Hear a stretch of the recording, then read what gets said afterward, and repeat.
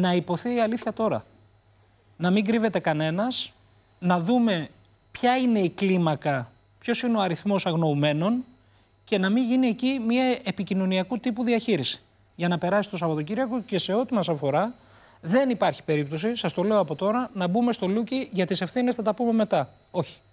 Ταυτόχρονα με τις επιχειρήσεις διάσωσης θα συζητάμε και για τις ευθύνες.